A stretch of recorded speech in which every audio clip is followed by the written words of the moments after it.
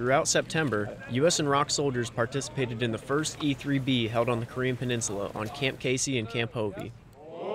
E3B is an opportunity for soldiers to earn a badge in their respective field, proving their excellence in critical soldiering tasks. It consists of testing for the expert infantry, the expert field medical, and the expert soldier badge. If You consider it a professional soldier badge that you'd wear in your respective MOS. It kind of just shows that you are an expert in your specific field, whether that be medical, weapons, or patrolling, all things expected of an infantry soldier, and you're just proving that you can handle it at the expert level.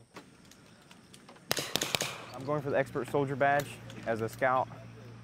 I feel confident. I'm ready to ready to go knock it out, and but just got to remember one step at a time, and let's go do it. Reporting from Camp Casey, I'm Airman First Class Wyatt Stabler, AFN Humphreys.